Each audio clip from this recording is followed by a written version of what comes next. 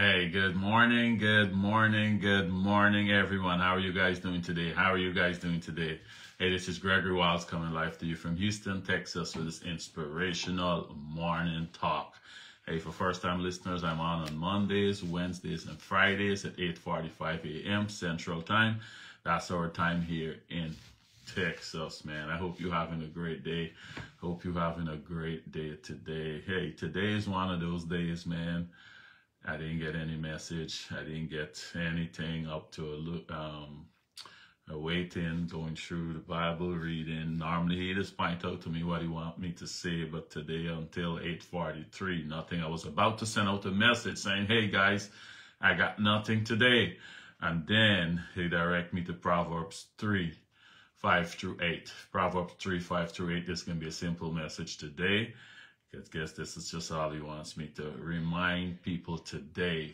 I tell you, I can't force it. I can't come and tell you what I want to say. It's just about what he wants to say. Because you remember in Matthew 10, 5 through 8, Matthew 10, I'm going to read from 5 through 8 when he tells the disciples, when he sent out the 12 disciples. Now let me sing, good morning, good morning, how are you doing today? When he sent out the 12, right? He said, These 12 disciples sent out with the following instructions Do not go among the Gentiles or enter any tongue of the Samaritans. Go rather to the lost sheep of Israel. As you go, proclaim this message. So you see, he had exactly what message he want them to say. He said, I know you got your own thing that you want to say, but I want you to proclaim this message. The kingdom of God has come near, right? So he had a particular message. So I just say that to say I he, he wants me to say what he wants me to say, and I just don't come up here and make up what I want to say. So as I was saying this morning, I didn't get anything. I didn't get no message. I was just about to send out to say, hey guys, um, you know, got nothing for today. But then, like I said, he directed me to Proverbs 3, 5 through 8. This is what he wants me to say. And just remind people. Proverbs 3, 5 through 8 is trust in the Lord with all your heart and lean not on your own understanding. In all your ways, submit to him, and he will make your path straight. This is a law. This is a law. He said, Do not be wise in your own eyes. Fear the Lord and shun evil.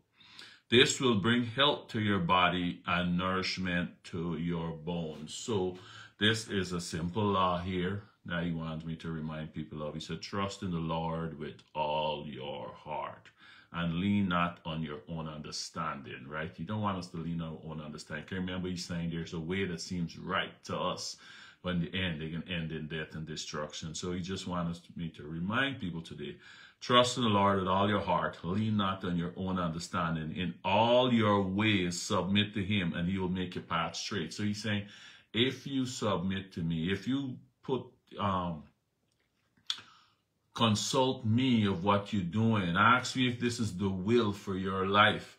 He said, your path is going to be straight.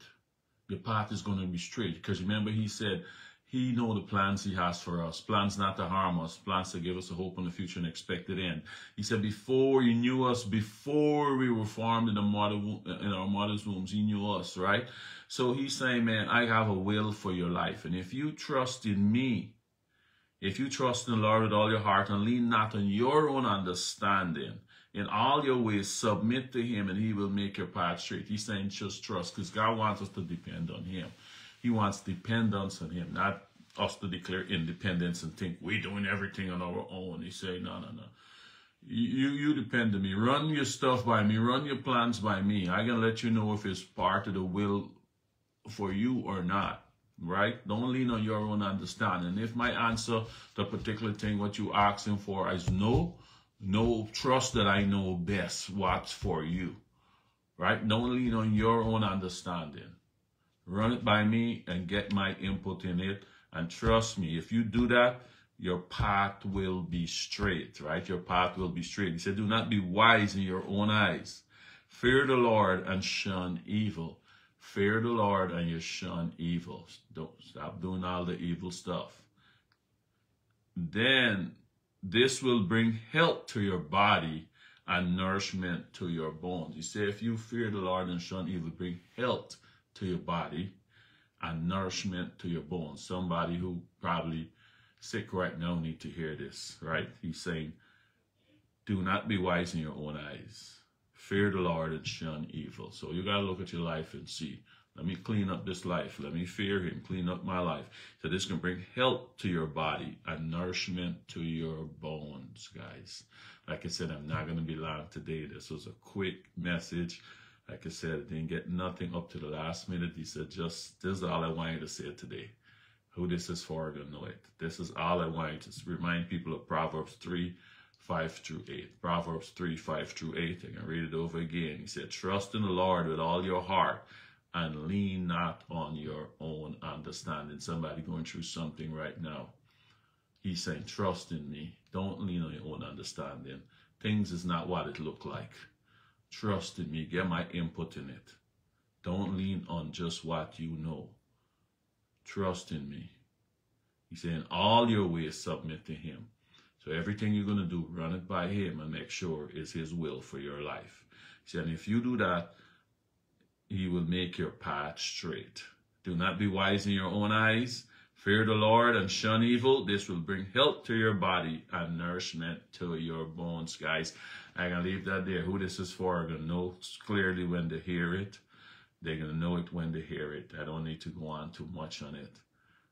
But trust in the Lord with all your heart and lean not on your own understanding, guys. Right? Thank you, Lily, for checking in. Thank you. How are you doing today? Hope you're having a great day, guys.